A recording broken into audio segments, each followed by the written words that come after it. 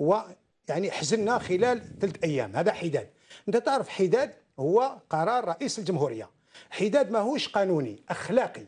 أخلاقي آه ناتج من آه يعني هو هو أخلاقي بالدرجة الأولى. فهذا الحداد كان يدوم اليوم الأربعاء والخميس والجمعة. وللأسف الشيء اللي لاحظناه؟ ماشي ماهوش الشيء اللي لاحظناه قبل ما نتأسف؟ الشيء اللي لاحظناه؟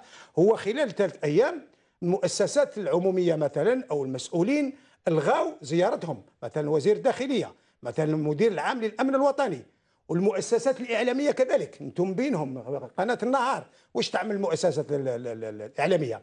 تلغي تلغي البرامج ذات نشاط ترفيهي ثقافي فني رياضي إلى آخره إلى آخره. فهذا ما قامت به يعني معظم كل القنوات. وللأسف الاتحادية الجزائرية لكرة القدم برمجت اللقاء يوم الجمعة. يعني يوم ثالث بالنسبة للحداد. ما زلنا في حزن برمجته. السبب نجهله. ما نعرفوش على كل حال البرمجة نتاع هذا هذا هذا اليوم.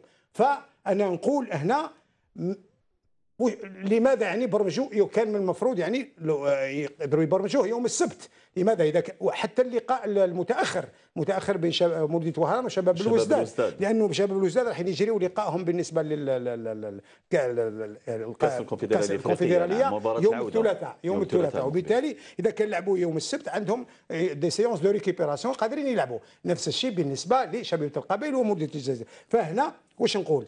هنا هذا القرار اتخذ من المسؤول. هنا نطرحوا سؤال ما عندناش معطيات. من المسؤول على أخذ هذا القرار؟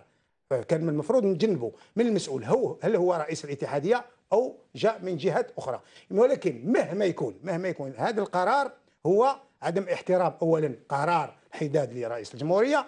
ثانيا نقدر نقول عدم احترام عدم احترام احترام مشاعر المواطن الجزائري.